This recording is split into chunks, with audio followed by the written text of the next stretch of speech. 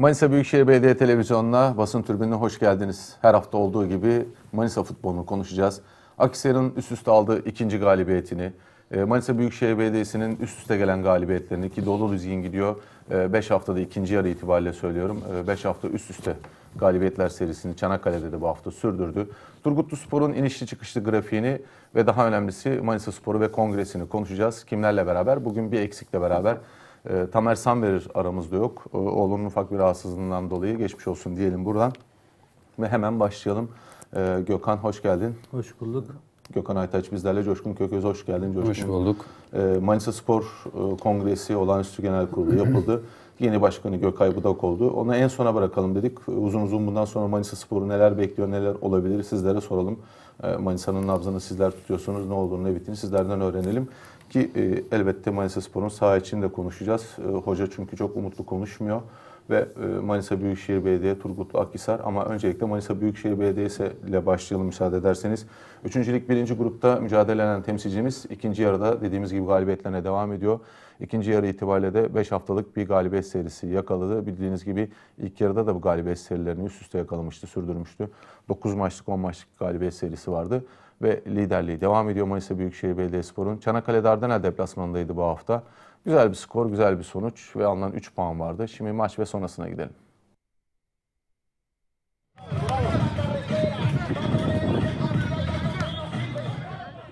Hafta içinde Düzce Spor engelini 3-1'lik galibiyetle aşan Türkiye Futbol Federasyonu 3. Lig 1. Grup lideri temsilcimiz Manisa Büyükşehir Belediyespor konuk olduğu maçta Çanakkale Dardanel Spor'u 2-0 mağlup etti. Yeşil Beyazlılar 41. dakikada Tolga Şahin'in attığı golle ilk yarıyı 1-0 önde kapattı. İkinci yarıda oyuna Tolga Şahin'in yerine giren Çağrı Giritlioğlu da ikinci golün sahibi oldu. Puanını 53'e çıkaran Manisa Büyükşehir Belediyespor üst üste aldığı galibiyetlere bir yenisini daha ekledi. Çanakkale 18 Mart Stadyumunda oynanan mücadelede Manisa Büyükşehir Belediyespor'u Manisa Büyükşehir Belediye Başkanı Cengiz Ergün de takımını yalnız bırakmadı. Manisa'dan gelen yaklaşık 100 kişilik taraftar grubu da Manisa Büyükşehir Belediyespor'a destek verdiler. Maç sonrasında taraftarlar futbolcuları tribüne çağırarak tezahüratlar eşliğinde galibiyeti kutladılar. Yeşil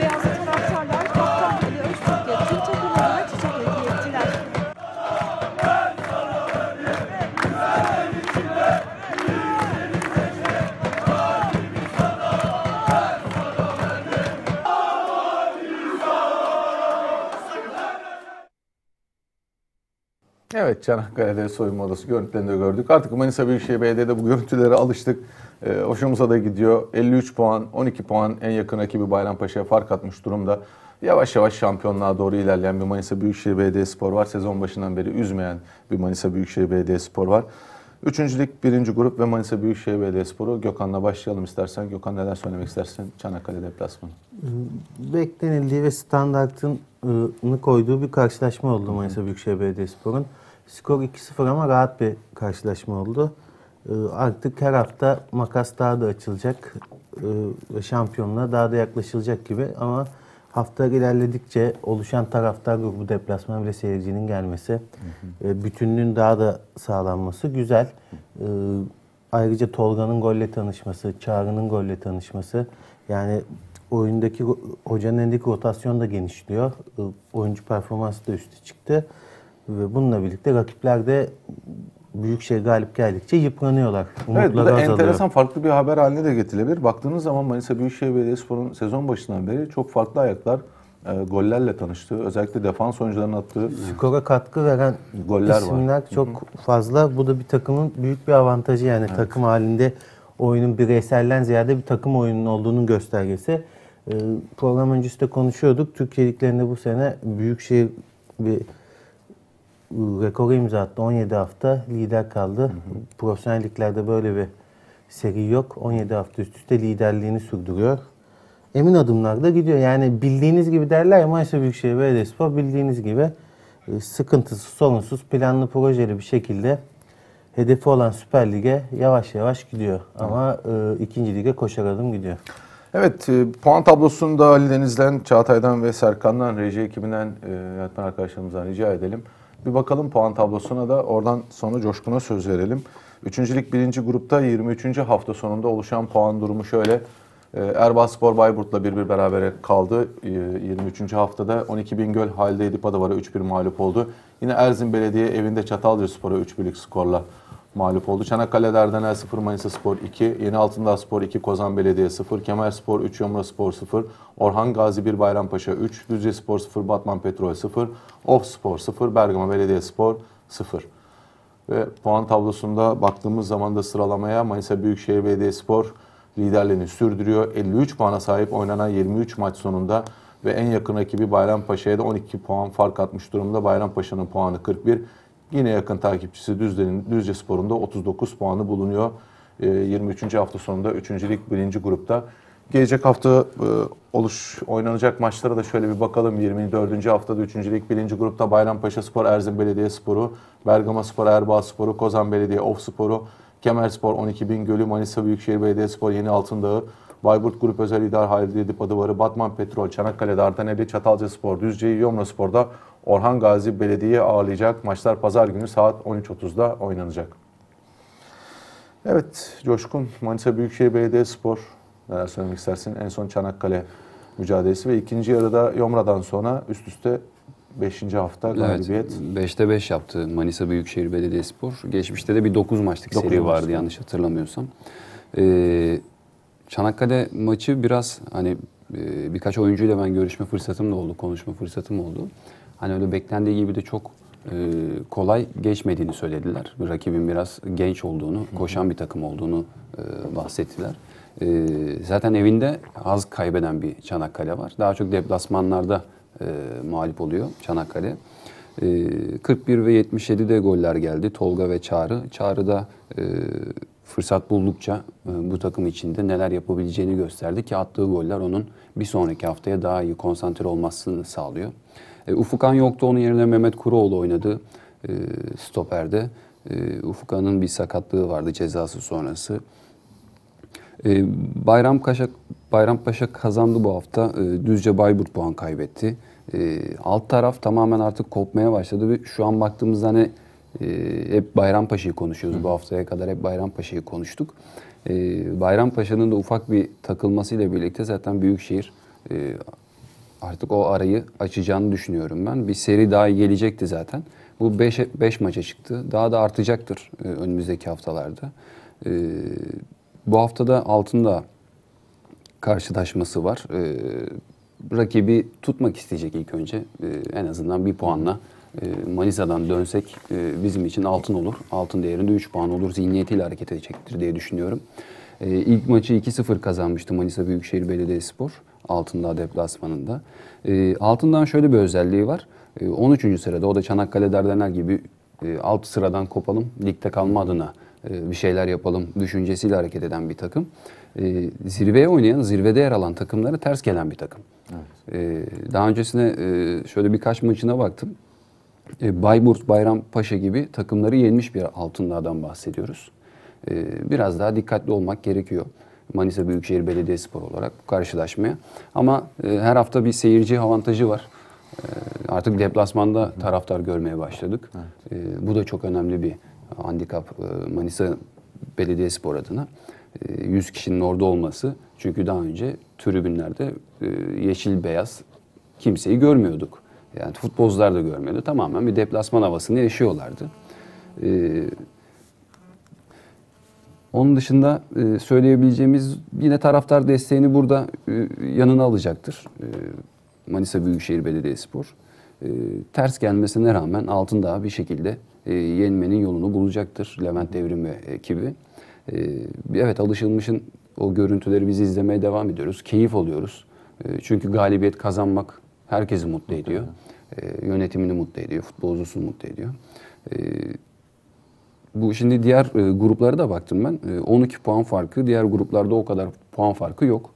İkinci grupta işte 4 puan. Üçüncü grupta da 8 puanlık bir fark var. 48'e 40, e, 46'ya 42, 53'e 41 diye gidiyor. E, yani zaten bu ligin üstünde bir kadrosu olduğu için bunun da hakkını veriyor Manisa Büyükşehir Belediyespor. Bu şekilde devam edecektir yoluna kayıpsız.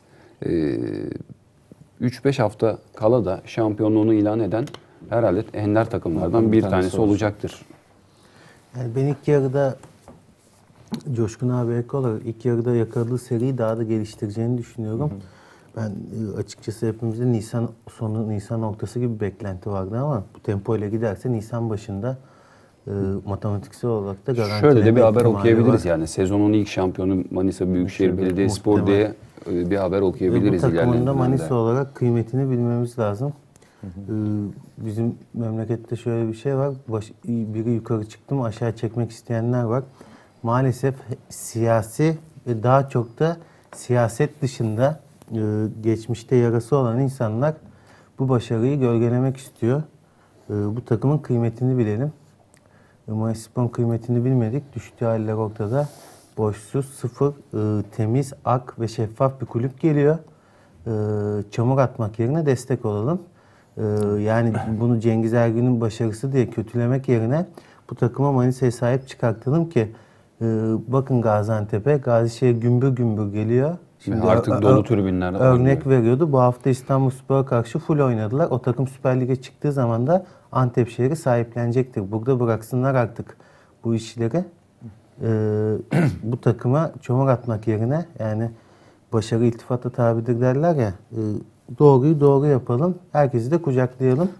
Yani Sezer Manisa Büyükşehir Belediyespor'un tabii şöyle burada. de bir özelliği Aynen var. Aslında e, taraftar başka bir kavram da e, seyirci olarak gerçekten seyirci toplamaya başladığı tribünlere bunlar zaman içerisinde e, ciddi taraftarlar haline de dönüşecekler. Çünkü iyi futbol oynuyor. Keyif veren bir futbol oynuyor. Skorlar anlamında da baktığınız zaman hani eğer bu işin meyvesi golse, insanları mutlu eden, e, görmek istedikleri şey sahada golse bunu da başarabilen bir ekip. E, bu zaten bu başarı devam ettiği sürece e, az önce sizin de söylediğiniz gibi sadece kendi sahasında değil deplasmanda da e, tribünlerinde e, Yani seyirci taraftarı. Bu daha da artacak. Barış yani. abi şunun altını çizerim. Şimdi e, benim evim de oraya yakın. Tevfikler tesislerinin her gün yükselişini görüyoruz. Orası tamam bir en alt altyapı kampüsü. Yani sadece Manisa Büyükşehir Belediyespor reklam yapalım. İşte Sayın Başkan Mevlük Ak'tan e, Cengiz Ergün hani biz başarılı bir takım bıraktık. Reklam yapalım derdinde değiller. Manisa'ya kalıcı bir takım bırakma derdindeler. Altyapılarıyla, Bunun da kıymetini bilmemiz lazım. Kaybettikten sonra sen İzmir'desin. Yani çoğu köklü kulüp geriye dönmek için ne kadar uğraş veriyor? Örneğin Altay. Neredeydi? Şimdi nerede? Daha İzmir tekrardan Spor. toparlanmaya çalışıyor. İzmir Spor keza biz Western Manisa Spor'ken kapa Şimdi kapıyor burada- burada- Onun için bunların kıymetini bilelim. Senin Hani bazı noktalarda özellikle sosyal medyadan nifak tohumları atanlar var. Hiç gerek yok. Senin Manisa'nın söylediğine ek takımı bir de şunu yapayım. e, sözünü kestim ama üçüncü lig yani ligler düşmeye başladıkça hem gelir hem de ligler e, saha içerisinde zorlaşıyor. Hakemi, gelir olarak tesisi. düşüyorsunuz. E, işte hakemlerini yetiştir. Yani amatöre düşsen orası tam bir gallavi kuyusu oradan çıkış. Baldan çıkış çok zor. imkansıza yakın hale geliyor. Yani o yüzden baktığınız zaman bugün Manisa'nın Manisa Sporu, Akisar'ı, Manisa Belediyesi, Turgutlusu dediğiniz zaman e, gerçekten ciddi ekipleri var. Üçüncü ligde, ikinci ligde, e, birinci ligde, Süper Lig'de yani bu takımların korunması gerekiyor. E, bunların e, Manisa Büyükşehir Belediyespor'un da az önce senin dediğin gibi en büyük avantajı ki şirketleşme şimdi yöntemi yavaş yavaş uygulanmaya başlayacak. Çünkü artık dernek sistemleri çöktü. Şirketleşmeye de geçtikten sonra daha daha büyük hizmeti bence Manisa Büyükşehir Belediyespor Manisa'ya şöyle yapacak. Manisa'nın e, herkes de takdir ettiği gibi söylediği gibi Manisa'nın bir altyapısı var. Yani oyuncu yetiştirilebilen bir bölge burası. Bu anlamda bu gençlerin de önüne açılmış olacak.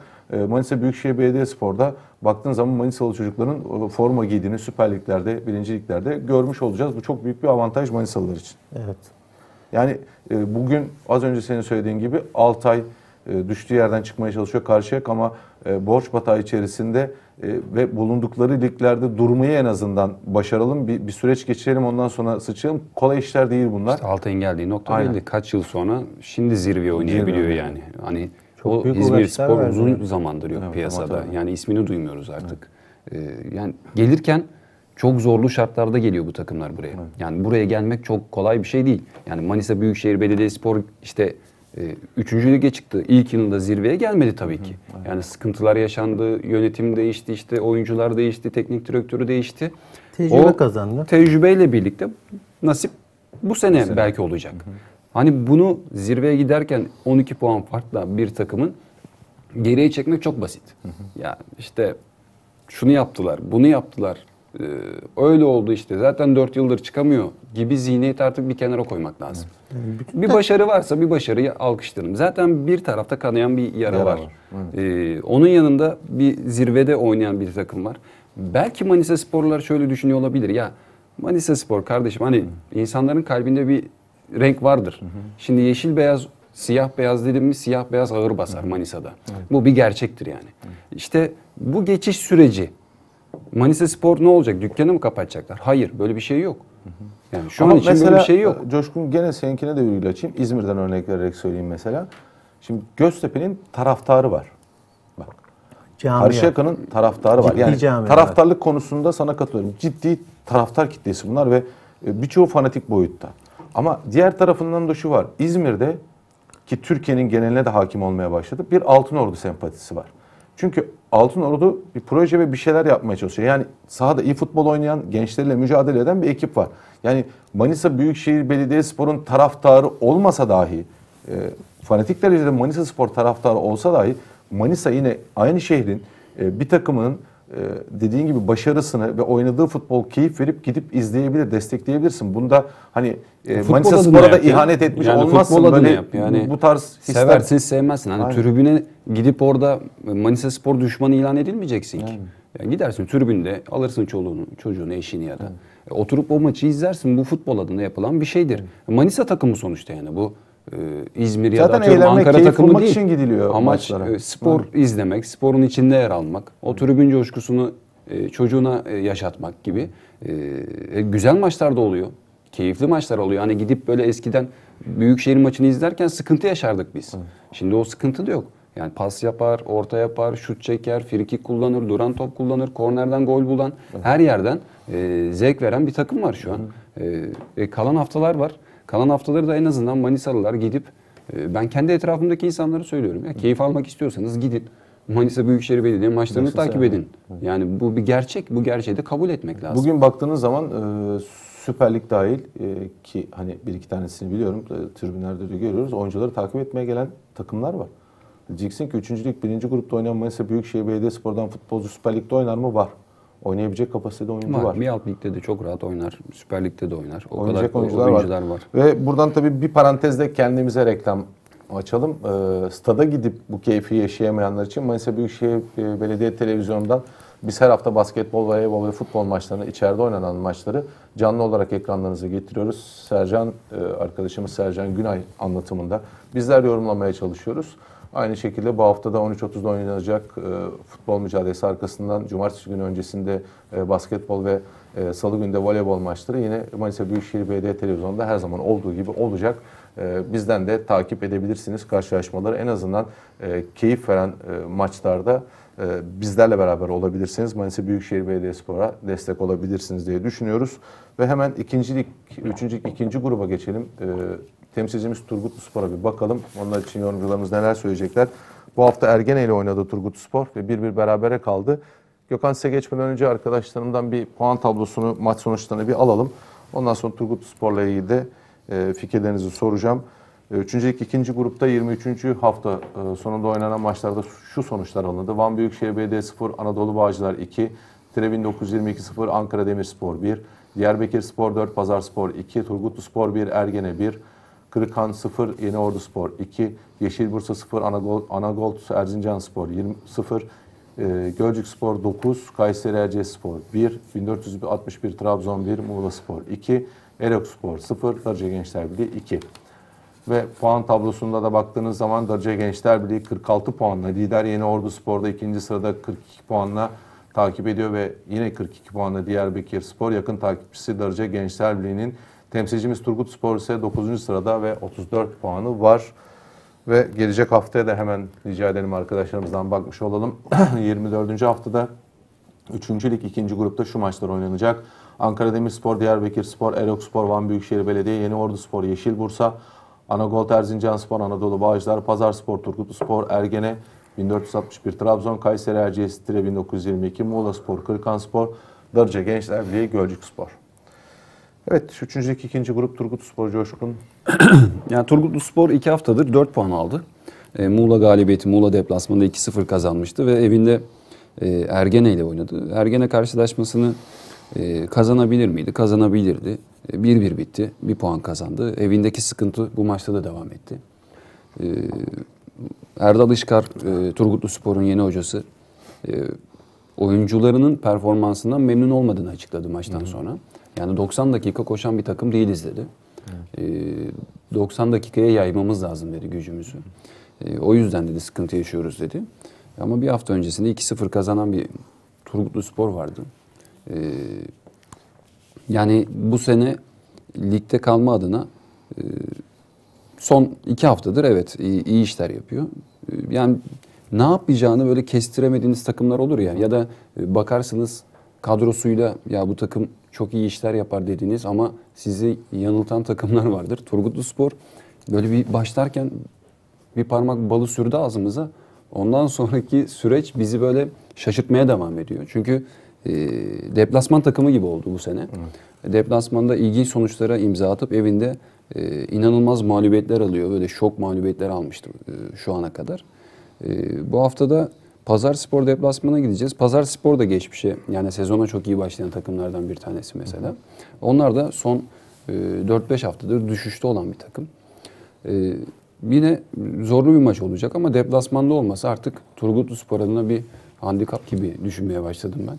Ee, belki buradan da bir galibiyet alıp e, çıkışına devam edecektir. 3-4 maç daha kazandığı takdirde Turgutlu Spor e, ligi çok rahat bir şekilde e, kalarak tamamlayacaktır. Hesaplar bir sonraki sezonu olmalı zaten. Bu sezon ilk o rüzgarla birlikte işte şampiyon olur muyuz, şu olur mu, playoff olur mu gibi düşüncelere daldık hemen ama e, yalancı bağırmış o süreç.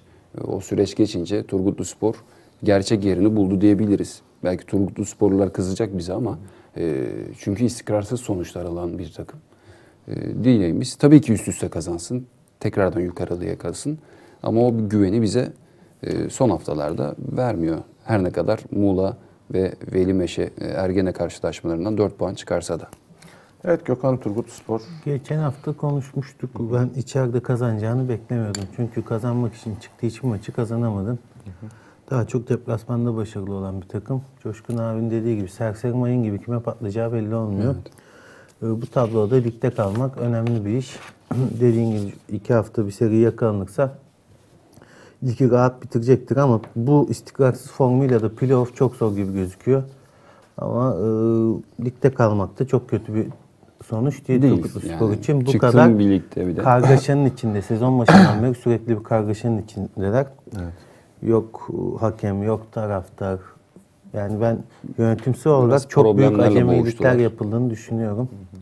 Ona rağmen ligde kalması iyi. Süreç içerisinde bir birlik beraberlik sağlanır diye düşünüyorum ben de. Ee, dediğin gibi hani borçlar ödenip e, seneye daha iyi bir kadro, e, yani güçlendirilmiş bir kadroyla Daha ayağı yere, yere sağlam basan, basan Aynen kadro. Turgut Spor. Ee, bizim de dileğimiz bu. Ee, Turgut Spor'da üst liglerde görmek istiyoruz. Yeni stadı da bitmek üzere yani seneye en azından ikinci yarısına kesin yetişir gibi Evet. gözüküyor. Yeni stadında Akisar stadına profesyonellikte. Daha hızlı ilerliyor onlar. Ankara'ya daha yakın ya. evet bence de. Daha çabuk hallediyor Turgut Ya işlerini. Turgutlu'da e, bizim e, izleme şeyimiz olduğu için öyle çok da Turgutlu Spor'u bireysel oyuncularıyla yorumlayamıyoruz. Çünkü e, biz de oradaki basın mensupları arkadaşlarımızın Ama servis ettiği haberlerle Medya biraz fazla yükleniyor gibi. Yani biraz ya da, da oradaki yönetim medyanın kendini anlatamıyor. Yani böyle bir proje varsa mesela şimdi Manchester Spor'a kimse yenildin diye bir şey diyor mu? yani Yani mal ortada. Ya bizim hedefimiz şu ama işte orada şey oluyor. Liderken biz çıkacağız. Sonra hedefimiz playoff. Abdullah Mergen'e yine kulaklarını çınlattım adam. birazdan çınlatacağız. Gitti ama kurtulamadı Gitti ama kurtulamadı. Hatırlarsın ilk sene e, Kayseri ne yemişti ikinci hafta. O Kayseri çıkmıştı. Biz dedi 2-2'den çıkacağız.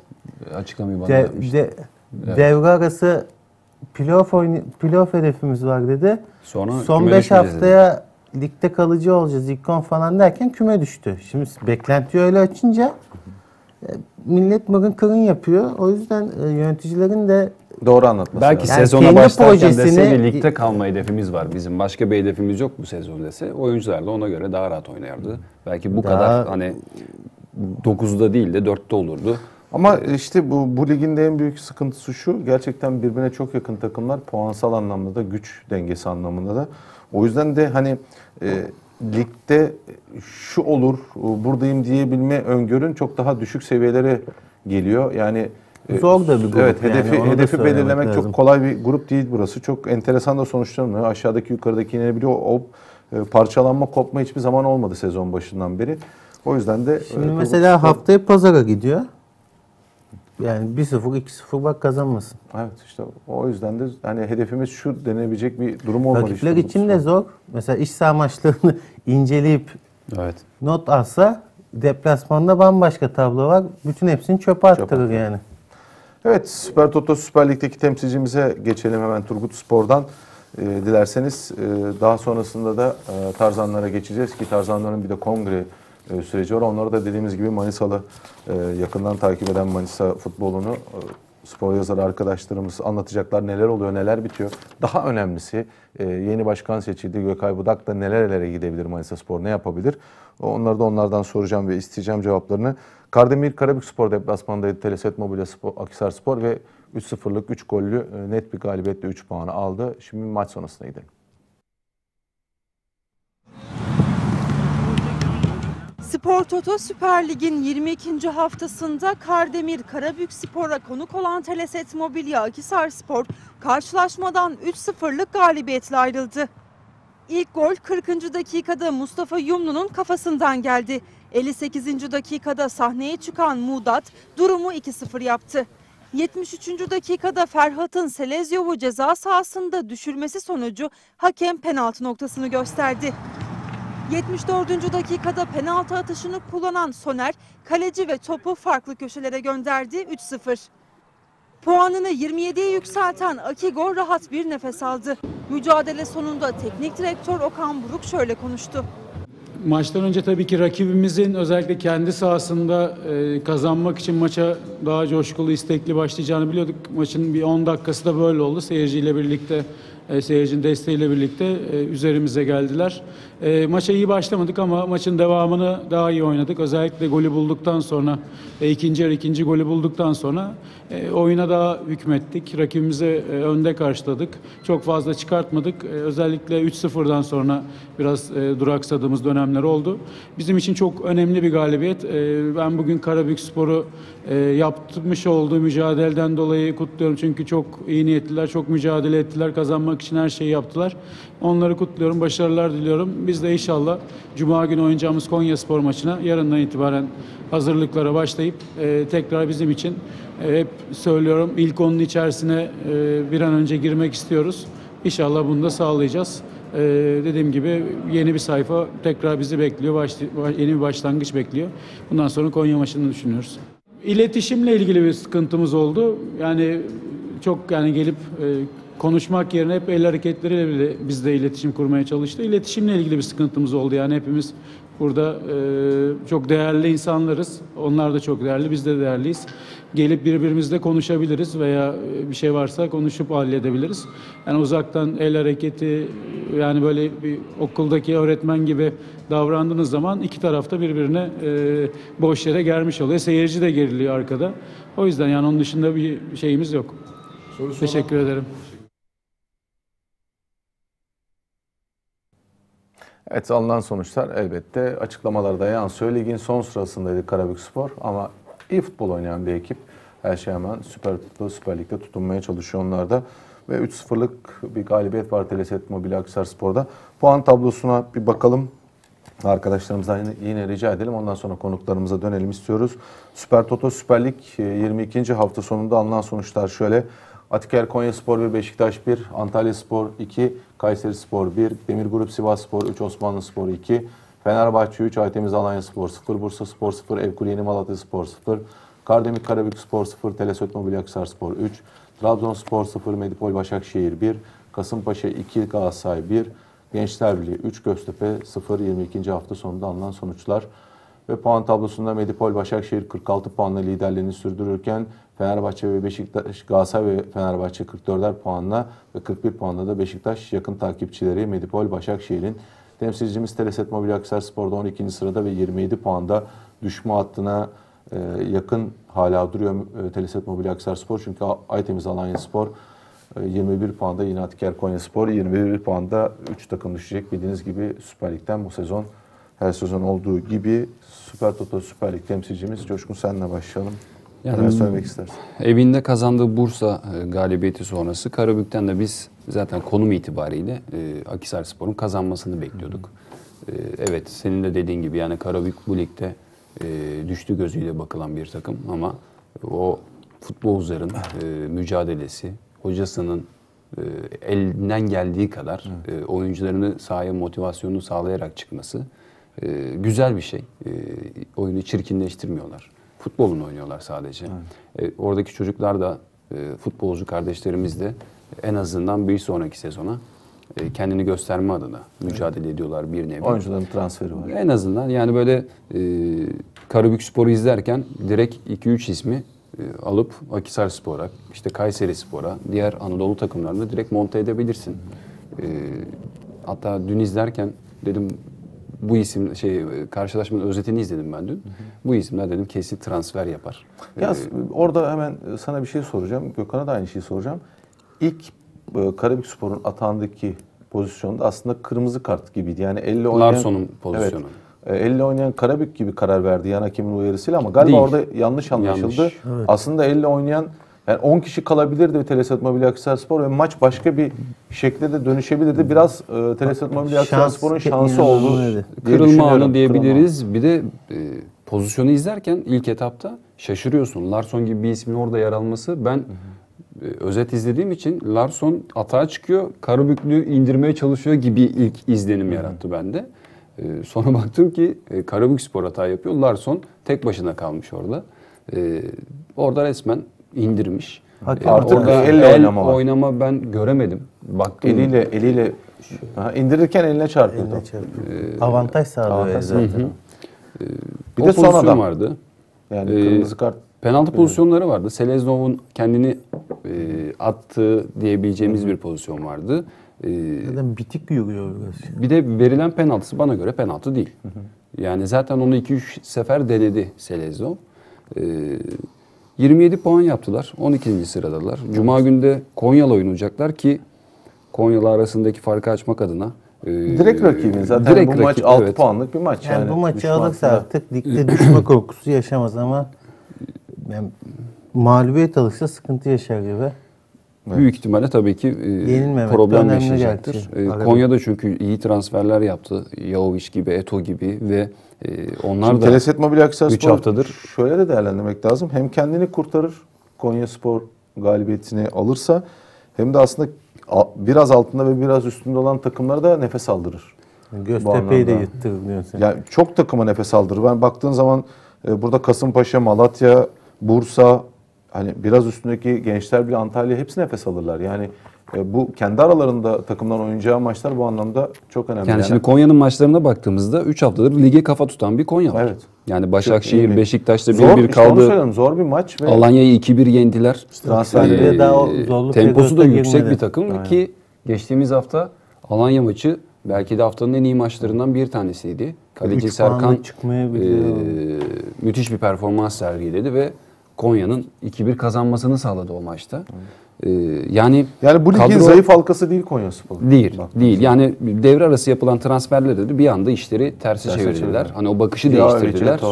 Ve o isimler de hani alıp sadece formasını 90 dakika sahada terletmiyorlar. Gol de atıyorlar. Takıma katkı sağlıyorlar.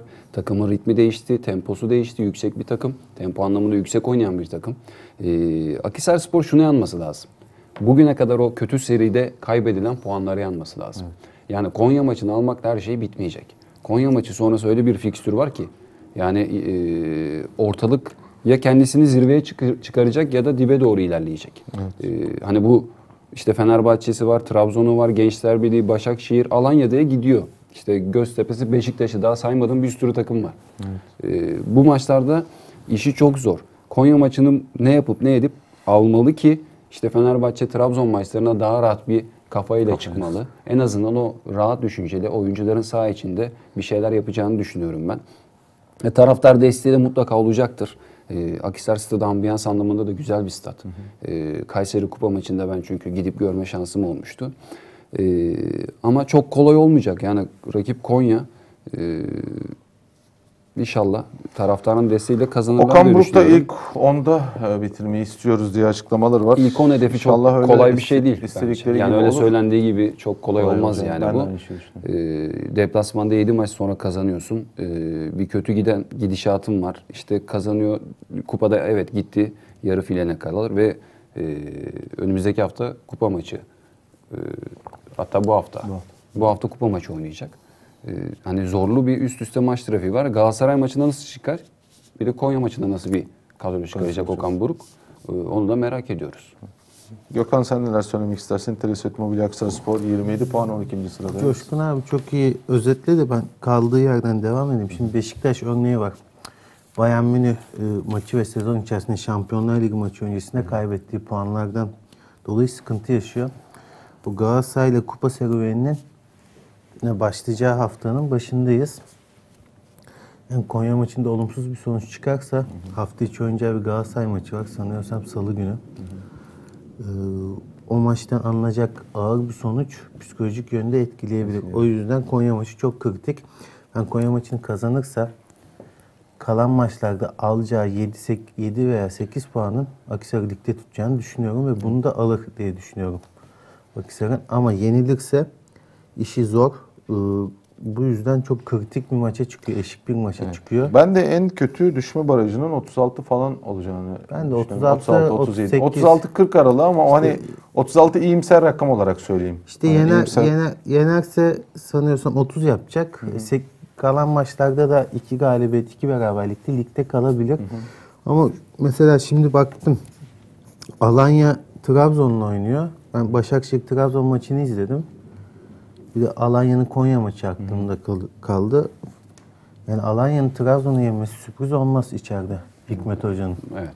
Bu tür maçları da sever Hikmet Karaman. Osmanlı'da iyi oynuyor. İyi oynuyor evet. Ama sonuca yansıtamıyor. Göztepe maçında üstünde çok basit goller yediler. Gençler Birliği bu hafta Göztepe 3-0'la geçti. Hani Gençler Birliği de e, baktığın zaman Osmanlı kadar ben de aynı şeyi düşünüyorum. Osmanlı kadar iyi futbol oynamıyor ama Sonuç puan alıyor. sonuç çok alıyor. Puan ilginç bir çok seri yakaladı. Yani zor alt taraf çok karışık. Ee, ben yani inişte olan iki takım görüyordum. Biri Bursa, biri Akhisar. Akhisar aldığı iki sonuçta topladı gibi bir şey ama esas Konya maçında gerçek performansları Tabii ortaya kadro, çıkacak. kadro anlamında da Okan Hoca. Yani eee, işte düne kadar Dani ile o, başlıyordu. Mustafa Uyumlu geçen hafta da söyledim. Mustafa Uyumlu çok önemli bir isim. Stoperden Akhisarspor. fazlası demiştim. Yani stoperden daha fazlası. Her şey var. Eee sahada yapması gereken her şeyi yapıyor ve golü de atıyor bir de yani üstüne sana ekstra kremasını sunuyor Oyunun pis birlikte. kısmını da oynuyor. Ee, Rakibi de tahrik e, edebiliyor. Aynen yani Hakemle e, de oynayabiliyor. Böyle bir oyuncu varken Dani gibi bir ismi yani Dani kötü bir hayır yani her lig bu ligde oynayabilecek bir isim ama e, Mustafa Uyumlu da sezon başından beri neler yaptığını biliyorsun az çok. E, Dani'nin ortalaması yok. Yani 90 dakika çok iyi oynar. E, Ben Galatasaray'dayken de takip ediyordum. Bir tane penaltı yaptırtır mahveder seni. Ya da Veya kırmızı bir kart Ters görür. bir geri pas yapar. Kırmızı kart görür. E, fiziki olarak çok hızlı olmasına rağmen futbol bilgisinin zayıf olduğunu düşünüyorum. Tam bir canlı bomba aldılar. Zaten Karabük'ten geldi. E, Karabük'ün hali ortada. Yani son sıradaki takımın stoperini aldılar. Devre arası transferini e, ve dönemini Akhisar çok kötü geçirdi. Allah'tan ligde dalgalanma var az sırada. Yani, Yani, Antalya falan ritim çalışıyor. bulsa Eray oynuyor mesela işi iki çok. haftadır. Kupada gol atan Eray Ataseven.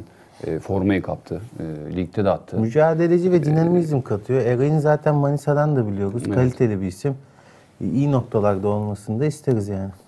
Evet, TFF 1. Lig'e geçelim. E, dilerseniz Akhisar'la Süper Toto Süper Lig temsilcimiz kapatalım ve e, Tarzan'a bakalım. E, Tarzanlara geldik. E, Tarzanların e, Manisa Spor'un uzatmada yıkıldığı bir maçtı Adana Spor maçı. E, ve hafta içerisinde demeçlerde ve beklentilerimiz şuydu. Yapılan açıklamalara da baktığınız zaman şu, e, Manisa Spor'un da beklentisi şuydu. Adana Spor Ligi'nin en çok gol yiyen takımlarından biri ve biz Adana Spor engelini geçeriz düşüncesi vardı. Ancak öyle olmadı ve uzatmada yenilen bir golle 2-1'lik sonuçla sahadan puansız ayrıldı Manisa Spor. Şimdi maç ve sonrasına gidelim ve Manisa Spor'u konuşalım. Zor günler geçiren Grant Medical Manisa Spor Lig'in en çok gol yiyen takımı Adana Spor'u ağırladı. Düşme hattından çıkmaya çalışan Tarzanlar Adana Spor'a uzatmada yediği golle 2-1 mağlup oldu. Karşılaşmaya iyi başlayan temsilcimiz Grant Medical Manisa Spor ilk devre biterken Guaye'nin penaltısıyla geriye düştü. Tarzan 59'da Bilal Sebahi ile eşitliği yakalarken son dakikada Tevfik Altındağ'ın golüne engel olamadı. Manisa Spor bu sonuçla 14 puanda kaldı. Karşılaşma sonunda teknik direktör Taner Taşkın şu açıklamayı yaptı. Öncelikle oyuncu grubumu Cana Gölü'nden tebrik ediyorum. Bugün galibiyeti hak eden bir oyun ortaya koydular. Çok iyi mücadele örneği gösterdiler. Fakat eee, maçın önüne eee, maçın hakemi geçti diye düşünüyorum. Aleyhimize verilen bir penaltı var ve lehimize verilmeyen bir penaltı var. Bir birken eee, öne geçme ihtimalimiz oldu. Fakat maalesef eee, hakem bunu eee, normal bir şarj olarak değerlendirdi. Bugün e, bir takım galip gelecekse maçın hakkaniyeti Manispor'un kazanmasıydı. E, Adana Spor'u almış olduğu galibiyetten dolayı canı gönülden kutluyorum. Tebrik ederim ama bizim şu anda rakibimizle aramızda 10 puanlık bir fark var. E, Eskişehir'le veya Adana Demir'le bize yakın olan takımlarla. E, biz muhtemelen düştü gözüyle görülüyoruz ki herhalde hakemler de ona göre maç yönetiyor gibi geliyor bana. Çünkü o kenarda o tedirginliği ben yaşıyorum. Şimdi hakem e, aleyhimize bir düdük çalacak diye o tedirginliği gerçekten ben yaşıyorum. Ama bundan sonraki maçlarda biz emeğimizin hakkını almak istiyoruz. Kim şampiyon olur, kim düşer, kim playoff'a kalır o bizi ilgilendirmiyor. Biz sadece e, bu çocuklarla, genç grupla beraber gerçekten bu süreci iyi idare edebilmek için buraya geldik. Manispor'u da böyle ayaklar altına aldırmak istemiyoruz. Eğer çıkıp biz takır takıp top oynuyorsak, eğer puan veya puanlar hakkımızsa bunu eee, hakemin önüne geçerek, maçın önüne geçerek kaybetmek istemiyoruz. Adil bir yoldan, yoldan kaybetmek istiyoruz. Bugün biz maalesef eee hakeme mağlup olduk. Adana Spor'da aldığı galibiyetten dolayı tebrik ederim. Taner Taşkın'ın açıklamaları böyleydi. Hemen yorumcularımıza dönelim. Hakeme mağlup olduk diyor Taner Taşkın. Doğru sonunda. söylüyor. Bana da, bana göre de doğru söylüyor. Çünkü birkaç pozisyon var ki e, yani penaltı olması gereken Manisa Spor adına hatta iki pozisyon var diyelim. İkisinde de Perovic var. E, yani Adana Spor'un penaltısı penaltıysa o ikili mücadelede omuz omuza kol kola dediğimiz pozisyonda e, em, e, Onu verdin sen onu onu verdiysen Pero'nun iki pozisyona da e, maçın hakemi penaltı çalmak zorundadır bana Şimdi göre. ikinci yarıdaki pozisyon özellikle Perovic erken bıraktığı gibi gözüküyor ama net bir müdahale var. Yani bozuyor adamı. Yani koşan bir adamı zaten şöyle bir omuz e, kol hareketiyle ittirdiğin an o zaten ister istemez düşüyor. E, böyle bir maç e, hakemin e, penaltı anlamında, pozisyonlar anlamında sıkıntılar yarattığı bir karşılaşmaydı. Abdülkadir Bitikendi maçın hakemi. E, Manisa Spor rakiplere can suyu olmaya devam ediyor. Bu maçın hakkı evet e, mağlubiyet değildi. Yani sahaya çıkan e, isimler dört tane genç oyuncu vardı. Bunun dışında işte elde kalan birkaç isimle birlikte mücadele etti. E, özellikle bu maçta Bilal Sebayi ve Perovic'in e, saha içindeki o mücadeleleri görülmeye değerdi. İşte sol bekte oynayan kardeşimiz e, Kemal. Kemal Temel ben çok beğendim. Yani ilk maçı olmasına rağmen bugüne kadar Yani orada Mustafa e, Sebayi'nin mesela şey onu soracaktım size. Ee, Bu bonservisi e, şey, yani mm, ödenen parası yüksek mi? Değil. Çok yüksek değil. Seyit Çok Hoca ucuz, zamanında çok çok, ucuz. ucuza gelen bir isim yani. Portekiz İyi, iyi liginden mi? gelen bir isim. Ee, yani e, Adana maçı kaybedilme yani bir puan alınsaydı çok güzel olacaktı. Çünkü futbolun karşılığı bu değildi. E, Taner Hoca'nın söylediği şeylere hak veriyorum. E, hakem konusunda işte mücadele anlamında.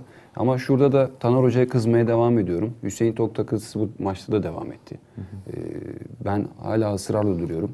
Bu takımın Hüseyin Tok'a da ihtiyacı var. Başka isimlere de bu genç çocuklara da e, ihtiyacı var. E, şimdi Ya sanki böyle e, lafını kesiyorum gene ama şöyle bir şey var. Sanki hani Araf'ta derler ya. Böyle Taner Taşkın da arada kalmış gibi. Yani şimdi elbette Manisa Spor'u biz de istemiyoruz. Düşmeyi kimse kabul etmiyor, kabullenemiyor. Ama bir taraftan da e, eğer bu takım bu, bu puanlarla kurtaramayacak durumdaki puansal olarak olmadığı sürece elbette bunun kararını vermek zor ama gelecek sezon içinde o gençlerin artık iyice fazlalaşması ve oynaması E Zaten gerekiyor. yani. kadroda şöyle söyleyeyim sana. Altyapıdan Alper Önal, Asım Hamza Çebi, Kemal Tebal, Temel, Temel. Kaan Miray Bağış, Deniz Çörtlen, Furkan Yedeklere. Parsak, yedeklere geçiyorum. Berk Canbas, Ulaş Doğuşkaya, İlkay Gül, e, Ömer Atiş. 10 isim. Yani 19 kişilik kadroda Bunlar 10 isim. Ömer Buğdaycı'yı da Ve de Ömer Buğdaycı da var. Bu maç yok ama Bu maçta da- yoktu. Yani e, sahaya çıkan 10 19-20 kişi varsa zaten yarısından fazlası artık genç isimlerden kurulu. E, Taner Hoca da bu isimler isim, içinden kendine bir sonraki sezon için belki arayış içinde. Yani geçerken de hani köprüyü elimdeki bu isimleri de biz dönüyoruz dolaşıyoruz Hüseyin Tok konuşuyoruz ama bu maçta da mesela benim çok beğendiğim bir Alper vardı. Daha önceki maçlarını saymıyorum. Yeri olmamasına rağmen Yani esas yeri orta sahada değil. oynayan bir Alper Önal vardı ki e, Daha ön oyuncusu değil mi? Asım'la birlikte e, iyi mücadele ettiler. Yani işte gol attıran zaten Alper'di. Çok iyi bir araya pas attı. Bilal Sebay da gelişini durdurmadan topu vurdu. Gol oldu. E, yani genç oyuncular da üstüne koyarak geliyorlar. Bu da güzel bir şey. E, Manisa Spor adına bir kazanımdır. Çünkü gencecik çocuk Kemal dediğimiz e, kardeşimiz 98 doğumlu. Ve yani Ve ilk maçı yani düşünür müsün? Gösterdiği birinci ilk maçında çıkıyorsun. Performans da Mustafa Sevgi'den kalır değil yani. Evet. Mustafa Sevgi bu takımın sol bek diye alındı. Kaçtı. Adana Spor'un 9 numarasına mesela Nelson, Magaye nefes aldırmadı. Yani iktirdi, kaktırdı, tekme attı. Ne bileyim hani e, ben karşısında ezildiğini düşünmüyorum Kemal gibi bir ismi. Bir de bu genç isimler dinamizm de katıyor takıma. E, ko- koşan Adana Spor karşılaşmasında aynı zamanda koşan bir takım izledik. E, evet penaltısı e, iki pozisyonda Adana Spor'un penaltıysa Manisa Spor'un iki pozisyonda yüzde yüz bana göre penaltı. E, son dakikada gelen gol her şeyi bitirdi aslında. Maçın hakkı bize göre bu da değildi. İstanbul Spor'da 4 hafta mağlubiyet yaşıyor. Onlar da bir ara e, iyi gidiyordu. E, zor bir maç olacak e, İstanbul Spor'la. Bilal Sebay cezalı mı değil mi onu bilmiyorum. Sanki dördüncü sarı kartını e, gördü diye hatırlıyorum ama bakamadım ona da. E, Adana Spor maçındaki performansı İstanbul deplasmanında sergilerse e, Manisa Spor e, en azından bir puan çıkarır diye düşünüyorum. E, sahadaki mücadele çünkü Adana Spor karşılaşmasında beni çok mutlu etti. Hani skor 2-1. Zaten maç bitti. Taraftar da alkışladı. Yani böyle oynasın. Yenilsen de önemli değil. Zihniyetiyle hareket et herkes. Düşüncesiyle. Ben tebrik ediyorum. Yani özellikle genç isimleri e, mücadelelerinden dolayı e, o forma aşkı böyle olmalı. Düştün, düşmedin. O artık zaten düştü bu takım. Bize göre düştü. E, alacağın puanlarla en azından prim alacaksın. Şu olacak, bu olacak gibi detaylar var. Manisa Spor işte hakemlere ezilmesin, yıkılmasın, tutulmasın gibi şeyler söylüyor Taner Hoca. E, yönetimi olmayan e, bir takımı nasıl bu tür şeylerle e, öne çıkarabilirsin ki? Yani her şeyle tükenmiş Yönetim bir takım var. derken hemen isterseniz geçelim. Ee, Gökhan söyleyeceğim bir şeyler varsa söyle. Maçla Ee, ilgili Yönetimle bilmiyorum. Var ilgili mı kısmına çünkü olağanüstü genel kurul vardı ve e, yeni başkanını seçti Manisa Spor. Şöyle diyeyim yani bu, maçta Manispor beraberlik bile değil galibiyeti hak etmişti. Yazık oldu. Bu hafta içi mesaisiyle ilgili İstanbulspor maçı ile ilgili de tabii temennimiz puan ve puanlar alması. Coşkun abi güzel temennilerde bulundu ama İstanbulspor bir sistem takımı. Evet. kadro kalitesinin dışında sağ içindeki oyun gücüyle de Manisa Spor'u rahat geçecektir diye düşünüyorum. Ama inşallah öyle olmaz. Ee, Çünkü ben çok beğeniyorum İstanbul Spor'u. Gazişehir maçını izledin mi? Özetini ya da. Yo ben maçı izledim de Gazişehir'de de Erkan Sözer ile çıkış yakalayan bir takım vardı.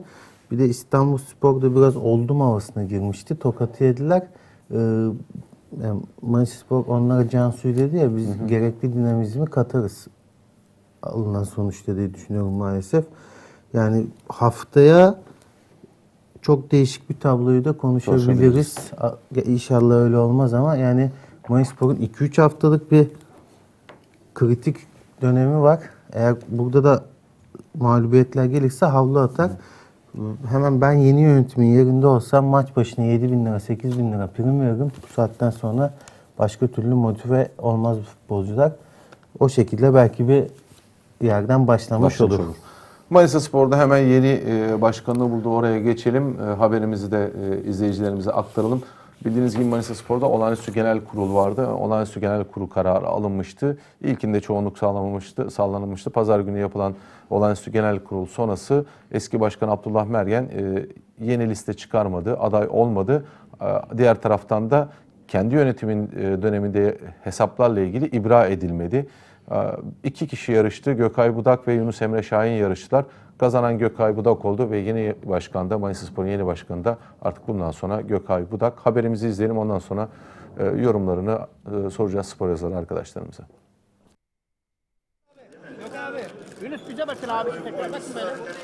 Grand Medikal Manisa Spor'un olağanüstü kongresi gerçekleşti.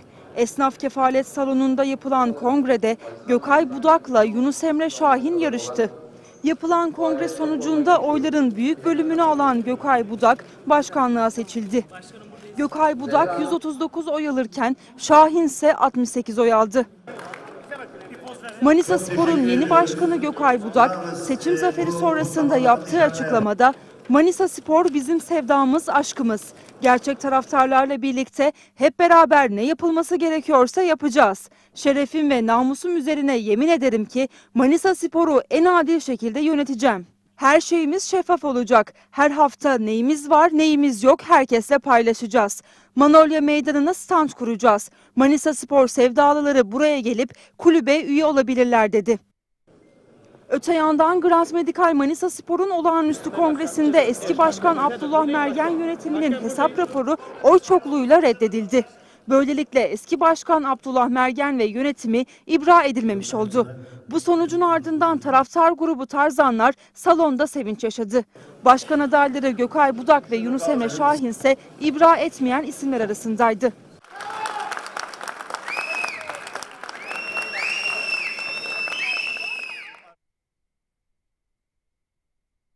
Evet yeni yönetime hayırlı olsun diyelim ve dönelim şimdi yeni yönetim neler yapabilir, e, neler başarabilir? Niye güldün? Gökhan, Gö- Hayırlı olsun diyelim ama başlayalım. neler başarılabilir bir soracağım. Ondan sonra da yanıt almayı isteyeceğim. Çünkü e, iki haftadır değil aslında aylardır tartıştığımız şey bu. Manisa sadece Manisa Spor için değil birçok kulüp için.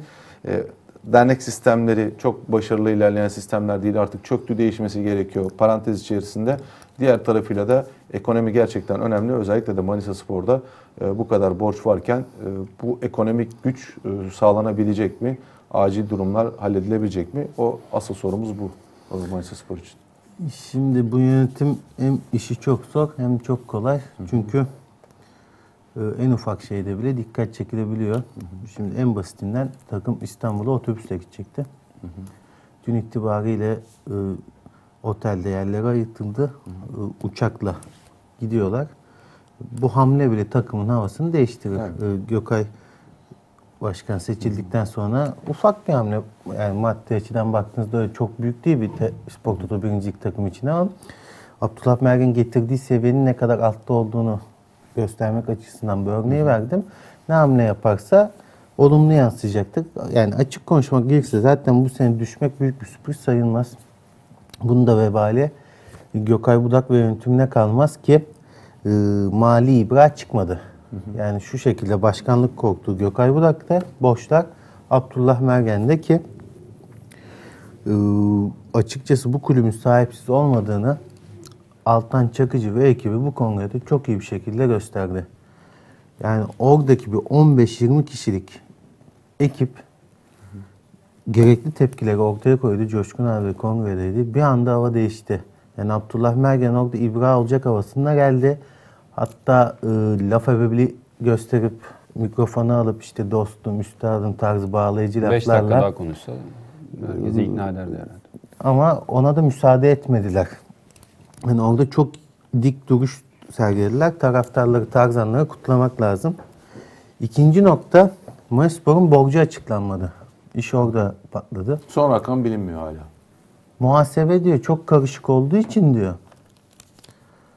Biz de net rakamı açıklayamıyoruz diyor. Ya burada bir apartman yöneticisi olsan defter teslim ederken en azından hangi daireden alacak var, hangi asansörcüye borç var bilmem ne bir rakam verirsin. Bunların olmadığı bir ortamda işte bugün çıkan haberlerde yurt dışı kampı değil, yurt dışı kampı yapamayan Manisa Spor'un yurt dışı özel maç giderleri diye e, Faturaları var. faturaları var. Yani e, şapka düştü, takke düştü, kel göründü misali. İbra edilmeyeceğini bence hiç beklemiyordu. Ama bundan sonraki süreçte delegeler gereğini yaptıysa namusu ve şerefi üstüne yemin eder. E, Gökay abinin, benim Gökay abimdir. E, gereğini yapması gerekiyor. Bundan sonraki hukuki yollara başvurup Abdullah Mergen yönetiminin hesap vermesi için Şimdi hemen 3. orada- asliye cezaya e, tutanakları çünkü divan başkanı İsmail Aydın'la konuştum. Ben tutanakları kulübe teslim ettim dedi. O tutanaklar doğrultusunda ibra edilmeyen bir kulüp varsa 3. asliye ceza mahkemesine verilecek. Ve Abdullah Mergen kongrede açıklayamadığı borcun hesabını verecek. Eğer bu hamle yapı- yapılmazsa Gökay Budak ve yönetiminin inandırıcılığı kalmaz. Ben de bunu Gökay Budak'a yakıştırmam. Ama böyle bir yolun izleneceğini düşünmüyorum. Vermeme şansı, Ki- verememe şansı var mı? Vermezse vermez. Yani şu an İbra alınmamış genel kurulda yani yönetim olarak onu zaten götürmesi gerekiyor değil mi? gerekiyor ama götürmeye de bilir. Yasada öyle bir şey var yani. Ben bu borcu üstleniyorum der. Devam da ed- etme seçeneği var ama böyle bir ayağını sıkma kimse yapmaz. Göreceğiz zaman içerisinde. Onu göreceğiz ama 3 aylık bir dönem var. Bildiğim kadarıyla Haziran'da, bir Haziran'da daha olan kongre olan olacak. kongre olacak. E, yani çok kısa sürede iyi işler başarması lazım. Yeni yönetimin işleri kolay değil. Şeffaf olurlarsa devam ederler.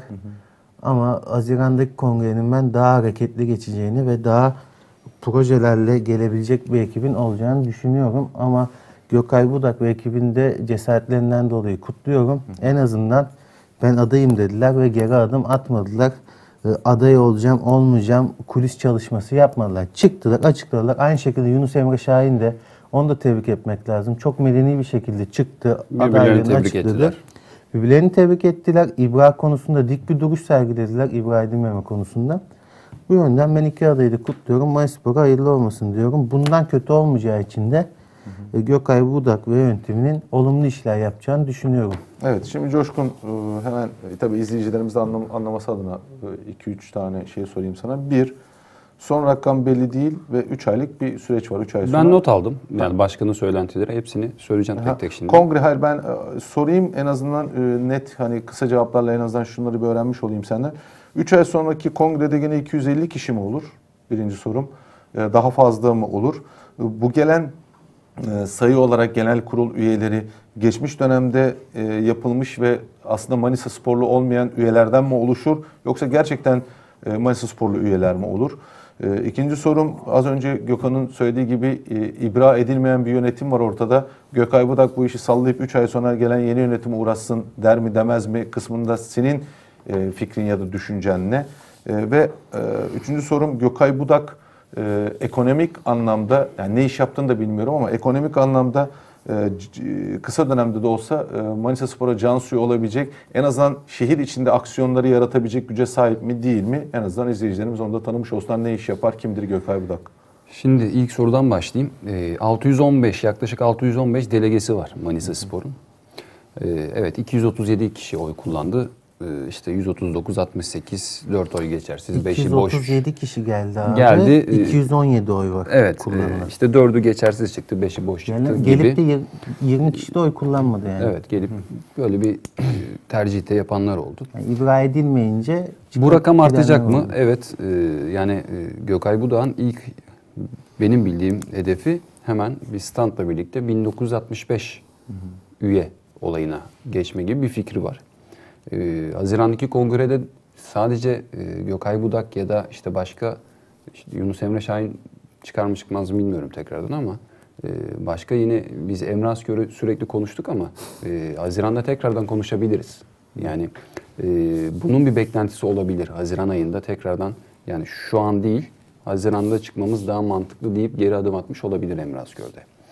E, ikinci soru Sen pek sıcak bakmıyorsun Emre Rakamsal- ama Ben abi- çoğu yani bu genelde hiçbirine sıcak. Yani biraz alışılmışın dışında bir kongre izledik. Evet mali e, tablo işte reddedilmesi, e, işte Manisa Spor Başkanı adayı olup da divan başkanlığı yapan İsmail Aydın gibi. Yani birçok şey var aslında burada sayabileceğimiz. Benim notlarımın arasında şöyle bir şey var. E, divan başkanının söylediği şeyi söylüyorum. Madde 01.01.2017, 31.12.2017 muhasebe ilkelerine uyulmadan hesapların karışık şekilde işlendiği ve net sağlıklı rakamların olmadığı diye bir Zapta geçti bunu. e, zapta geçen Tutanak bir tutanakta yer alan bir madde var. E, biz bugüne kadar böyle bir madde hiç duymadık. Manisa Spor'da. Evet. Ee, bunun sonrasında işte Altan Çakıcı 1965 Manisa Spor Taraftarlar Derne- Derneği Başkanı Altan Çakıcı söz aldı. Ee, Abdullah Mergen'in net borcu duymak istediklerini iletti. Sonrasında e, Abdullah Mergen söz aldı, bir şeyler anlattı, anlattı. Ağlanacak halimize gülmeye başladık orada. Bir komedi olayı oldu. Ee, 2024 yılına kadar vergi yapılandırmasının 7 trilyon yani 7 milyon TL gibi bir rakamın olduğunu söyledi. Ee, SGK borcu 2 milyon TL, 9 milyon TL yapıyor. Devlet alan borç. Yani bakkal defteri gibi biz orada hesap yapmaya başladık. Başkan bunları söyledikçe. Ama bunlar şeyde yok. Bunları belgesiz açıklıyor yani. Belgesiz açıklıyor Yani orada. Toplamda bir pakette 50'ye yakın bir rakam açıkladı. 47, Transfer 46. yasağımız var diyor. 6,5 milyon TL diyor. Ee, FIFA dosyaları var diyor. Ee, 4600 bin euro gibi işte e, Makakula Ivanski yani 4 milyon 600 bin euro gibi bir rakam e, söylüyor. 5 dakikada yazarım diyor bunları isterseniz diyor. Nereye yazacaksın abi? A4'ü verip orada biz bunları mı yazacağız yani? E, Mustafa Pekçetin de eski yönetim kurulu üyesi. Aynı zamanda bir dönem taraftarlar, yani uzun Aynı bir süre zamanda taraftarlar muhasebe, yani muhasebe şirketinde çalışıyor. Evet, taraftarlarda e, başkanlığı yaptı. Mustafa Pekçetin de diyor yani sözde bu iş olmaz. Siz bana 100 trilyon deseniz ne olacak diyor. Ya da 5 trilyon deseniz ne olacak? Biz bu işi belgelerle istiyoruz. Yani bu, bu kayıtlarda var mı? Bizim derdimiz bu. Siz 100 trilyonunu açıklasanız bir şey fark etmeyecek diyor yani. Aynen. E, böyle bir sıkıntı oldu. Yani bakkal dükkanı gibi e, yani bir de yani mevcut başkanın şunu söylemesi çok acı. Ha, ya ben anlamadım diyor. Yani son şeyi diyor çözemedim diyor. Bu muhasebe işini ben de çözemedim diyor. Nasıl çözemezsin ya sen? Ya bu kulübü alırken her şeyi biliyorsun zaten. Her şeyi sen yaşadın. E, Dördüncü sezonu. Bu kadar borcu alırken ve senden sonraki muhasebenin işte iki tane kişi tuttuk, incelendi, incelendi. Bu kulübün borcu yok denmiş ona. Nasıl yok? Yani bu geçmişten neler var neler. İşte geçmişte 10 yıl önce top oynamış bir ismin hala alacağı görünüyor. Böyle bir alacak yok diyor. Nasıl yok? Adamın parası ödenmediyse vardır bir şekilde yani. FIFA'ya gitmiştir, oraya gitmiştir, buraya gitmiştir. Ee, bunun dışında e, tartışmalar oldu. Yani birçok tartışma oldu. İşte divan başkanı araya girdi, e, sakinleştirmeye çalıştı.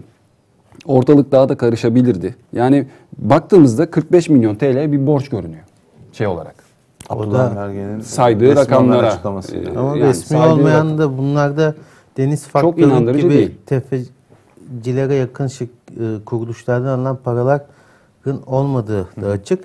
Yalnız şeyin e, Abdullah Mergen'in alacağı zabıtlarda vardı. Çünkü okunurken üzerinde Abdullah Mergen'den alınan diye bir ibare geçti. Yani kendi bu alacağını işlemiş benim anladığım kadarıyla. Zaten orada ilk homurdanma başladı. Ya tabii canım yani e, o kadar şey sağlıksız bir konuşma oldu ki yani 45 milyon TL'ye kimse inanmaz. E, Manisa Spor'un borcu var diye. E, tarihe geçen 32 kişi vardı. Rakamı unutmadım. E, ibra etmeye çalışan 32 kişi vardı kongrede. Abdullah Mergen ve yönetimini. Ama kaldıran isimler de böyle gizliden kaldırıyor yani. Arka taraftakiler Yedi görmesin. tanesi akrabasıydı ben saydım. Yani oğlu, işte eşi, e, Kayınpederi. kayınpederi, yedi kişiyle Baldızı, orada. Yani yakın eşi. ailece görüştüğü e, insanların zaten çoğu 32 Ben kişinin de o- onunu desek Kişileri saymıştım. 7 kişi onlardı. E, ibra etmek adına onların hamlesi e, enteresandı ama yakın oldukları için o da mecburiyetten kaldıran isimlerdi. Başkanların ibra etmemesi güzel bir olaydı. Başkan adaylarının daha doğrusu. O da Yunus Emre Şahin'in ilk olarak ibra etmeyeceğiz arkadaşlar diye yüksek sesle konuşması ciddi bir duruştu yani o açıdan da tebrik etmek lazım. E, Gökay Budak evet e, hani potansiyel anlamında maddi anlamda zaten kendisi de söylüyor. Yani bizim böyle bir gücümüz yok. Ne iş yapıyor Ee, Gökay Budak? Güvenlik şirketi var kendisine ait. Güvenlik şirketinin Statta da uzun yıllar 18 yıldır Manisa 19 Mayıs stadının güvenlik şirketinin Ticaret sahibi. Meclis Üyesi. E, Tekvando Federasyonu'nun e, yönetim kurulu üyesi. İşte burada il e, temsilcisi gibi. Yani birçok şeyi var da hani insanların bildiği şey e, güvenlik şirketi olarak ve detayları da var tabii ki Birkaç say say. isim var yönetimde. Yaşı kaç? Yanlış değilse 39-40 yaşlarındadır en fazla yani. 40 yoktur belki. Yani yoktur belki de Yani, yani. birkaç isim var. e, Peki hemen bir soru daha tabii hani izleyicilerimiz de biz de tanımak açısından soruyoruz. Ee, Manisa'da çok fazla e, hani burada konuştuğumuz zaman da e, sporda siyaset falan da konuşuluyor. İşte o ben şunu öğrenmek istiyorum. E, mevcut e, Gökay Budak ismi siyasi anlamda işte CHP'si, MHP'si, HDP'si ne varsa işte AKP'si e, bu partilerin de e, yönetimlenen çünkü Manisa'da çok fazla siyaset sporun içine karışmış durumda çok konuşuluyor burada. E, ben rahatsızım bu işten ama oluyor. E, ve diğer taraftan da şehrin hani e, ekonomik anlamda gücü olan önde gelen isimleri, belediye başkanları dahil birçok ismi e, bir çatı altında toplayabilecek isim olarak görüyor musunuz? Hani ekonomik kendi ekonomik gücü yok ama e, burada şehrin dinamiklerini harekete ge- geçirebilecek bir isim midir Gökay Budak? Yani e, şu- Gökay Budan şöyle dezavantajı Ya da var. e, seçilmedi ama Yunus Emre Şahin ya da bir başkası geçirebilir miydi, başkası olabilir miydi ama başkan oldu hayırlısı olsun Gökay Budak bu e, Benim kendi fikrim şöyle. mi? Abdullah Mergin'in 4 sezondaki e, enkazı o kadar ağır, ağır ki yani gelen yönetim bu enkazı Kolay çok kolay çabuk kaldıramaz. kolay kaldıramaz. Yani e, daha çok yeni zaten kongre. Yani bir hafta 10 güne kadar görev Gökay Budak da da şu an nereye yani. oturduğunu farkında değil. Yani koltuk anlamında evet gitti makamına belki oturdu ama e, o da çok böyle içeriye hakim olduğunu düşünmüyorum ben. Yani o da önüne geldikçe işte Ama benim anladığım kadarıyla Manisa sporlular, Manisa spor taraftarları, e, camiası şundan dolayı mutlu. Birinci aşamayı kaydettik kısmında e, herhalde herkes mutlu. Herkesin derdi Abdullah Mergen ve yönetiminin gitmesiydi. Gitti ve e, mevcut Abdullah Mergen dönemindeki yönetimin ibra edilmemiş olması ve o döneme ait hesapların incelenecek olması e, yani e, Manisa sporları bir yüreğine bir su serpti. İkinci aşamaya daha e, geçemedik ama ilk aşamasını tamamladık diye bakabilir İkinci miyiz? aşamayı da Haziran'da geçecek. Haziran'da geçeriz. Tamam. Yani kongrede açık konuşmak Yani şu an Gökay Budak oturdu. Kasaba manava borcu hesaplıyor yani. O, o durumda olan bir kulüp var çünkü. Hani çok kolay değil. Hani şey üst düzey rakamları bakamamıştır bile yani. Kasabanın et- Suyu, bak- elektriği, bakkalın bilmem nesi, doğalgazı. bir kulüp. Yani doğalgazı kesilen bir kulüp var sürekli yani. Şimdi bizim amacımız ilk etapta bunları Çözebilmek. çözmek. Daha sonra personel, daha sonra futbolcular. Kapatacağım Manisa Spor'u. Son soruyu ikinize de birden sorayım. Ee, bir e, Gökay Budak'ın açıklamasından anladığım kadarıyla e, bir- bir- doğru bir şey. Hani Manisa Sporları Manisa Spor'a üye yapmak ama e, bunun kriterleri e, ne olacak? Bu çok önemli. E, çünkü dernek yönetimlerde e, Abdullah Mergen e, döneminde de Gökhan'ın çok senin de eleştirilerin ve sıkıntıların vardı. Hani Manisa Spor'la ilgisi olmayan birçok üye var. Yani mevcut üyeler ya da Temizlik bu şekilde yapılacak. üye yapılanlar temizlenecek mi? Ee, Daha sonrasında yeni üye bu çok kritik bir e, süreç ve soru aslında baktığınız zaman bu yönetim anlamında gelecek her yönetim anlamında üye yapılacak olanlarda aranacak şartlar neler? Ee, Bence burada e, Manisa Spor'un e, Manisa Sporların ilk sorması gereken sorulardan bir tanesi de bu diye düşünüyorum. Nasıl üye olacak? Yani stand kuracağız tamam meydana stand koyalım önümüze geleni üye mi yapacağız? E, Bunun da kriterleri mutlaka vardı tüzükte ama onların da Yani yıllık kriter 60 lira gibi bir rakam veriliyor Manisa Spor üyeliği için. Gökhan zaten kongre üyesi. Yani şöyle Detayları bir daha iyi bilir. var. Coşkun abinin ne bileyim Erhan abinin yani spor muhabirlerinin üye olamadığı bir kulübün olduğu bir noktada gidip e, Saranlı'dan e, başka tey- olduğu bir kulüp yapısından en azından maça gelen adamın üye olacağı bir şey olacak. Yani her önüne gelenler ziyade her üye olmak isteyen olacak. Eskiden öyle bir durum yoktu. Yani benim üye oluşum tam bir yalan rüzgarı. Bir tane bize yakın yönetici bulduk. Abi üye olalım seçimde zaten tek aday girersiniz. Bizim ne zararımız olacak? Ben öyle üye oldum. Ki benim babam kulüp başkanlığı yapmış bir insan.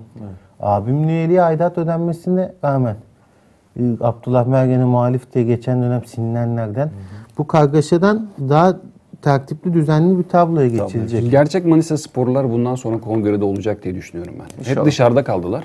Ee, bu Ama bunun sezonda. hani benim anlatmak istediğimi anladınız. Bunun e, kriterlerinin de iyi belirlenmesi gerekiyor. Mevcut yönetim Yani tarafından. şu- şu şey var, Hani kanaat- sadece herkes kanaat üye yapalım, ön- 60 lira toplayalım, buradan da bir gelir elde edelim. Yok, gelir mantığı mutlaka yoktur. Ben e, dediğim gibi hayırlısı olsun. Başkanı e, şey yapmak eleştir ama bu önlemleri de almalı e, bir, şekilde bunun kriterlerini belirlemeleri gerekiyor. çok Camianın beklentileri çok uzun bir doğrultusunda. süre. Yani Barış hani geldiğin gibi bunu işte bir kriter koyalım bin lira versin bize e, üye olan isim ama bir ayrıcalık Ya yapalım. işte mesela bazı kulüplerde örnek söyleyeyim. Fenerbahçe'de Hani var en benim son bildiğim çıkan, kadarıyla. e, sistem dolayısıyla maça gelenler hani Manisa Spor'la ne kadar olduğunu biliyorsun en azından e, 4-5 maç 10 maç neyse bu geçtiğimiz sezonlar içerisinde 20 maç gelen insanların iyi kötü bir Manisa Sporlu olduğunu düşünerek üye yapıyor. Yani herkesin kendine göre belirlediği bir takım şeyler var. Manisa Spor'da da böyle olmalı diye hani hep e, sıkıntıya düşülen ve anlatılıp isyan edilen durumdan kurtulması adına söylüyorum Manisa Spor'un. Yani Coşkun e, 20 maçtır geçen sezondan beri Manisa Spor'un maçlarına gitmiştir. İki de deplasman yapmıştır atıyorum. 22 maçlık bir e, periyodu vardır ve gerçekten Manisa Spor'u sevdiği ve Manisa Spor'un e, peşinde olduğu e, bir inancı oluşmuştur. Onu üye olmak da istiyordur. Diğerinden ayırabilirsin, bir takım şeyler getirebilirsin diye söyledim. Şöyle diyeyim bak, son noktayı koyayım ben. Manisa'da Manisa sporları çok rahat bulursun, bilirsin yani baktığında. Hani tribüne koy 100 kişiyi dersin ki bu Manisalı, bu Manisa sporlu, bu Manisa sporlu. Ben bunu ilk kez görüyorum dersin. Ee, hani zaten geçmişte gelen bir Tarzan tribünü vardı. İşte Berber Nevzatlar, e, İsmailler e, yani say say bitmez. Cenk Ergün de bunların içindeydi. Yani düşünün Cenk Ergün de tribünle bu arkadaşlarıyla birlikte Manisa Spor'a destek veren isimler arasında yer aldı. Hani Manisa Spor, gerçek Manisa Sporlu bunlar benim gözümde. Ya şimdi tribüne gelen kardeşlerimiz de o heyecanla geliyor. Ama geçmişten bir tecrübeli olan isimler var. Bu isimleri Atlan abileri mesela. Tekrardan bu tribüne kazandırmak lazım. Ee, o yüzden e, Gökay Budan e, en kısa zamanda bununla ilgili adım atıp eski o tribünde sembol olmuş isimleri hepsini bir araya çağırıp bir toplantı yapabilir. Ya sizinle bir görüşünüzü alayım diyebilir. Böyle bir adımlar atıp e, artık o siyah var. tereddütle bakmamaları lazım insanlar. Benim söyleyeceklerim bu Doğru, kadar. doğru diyorsun. Evet, e, bütünleşme ve doğru yol ve yöntemlerle hareket etmesi gerekiyor. E, Spor yazar arkadaşlarımızın da dediği gibi 3 ay sonra bir genel kurul daha yapılacak. Belki e, bu düzelme, iyiye gidiş Manisa sporları daha da harekete geçirecek. Belki e, 4-5 liste çıkacak, yeni adaylar çıkacak. Bizim de beklentilerimiz bu. Herkesin bir an önce Manisa Spor çatısı altında birleşip bütünleşmesi. Bu haftalık bu kadar. E, Teşekkür ediyoruz. Ağzınıza sağlık Biz diyoruz konuklarımıza. Yayında ve yapımda emeği geçen e, bütün arkadaşlarıma da ben teşekkür ediyorum. Gelecek hafta yine buradayız. Görüşmek üzere. Hoşçakalın.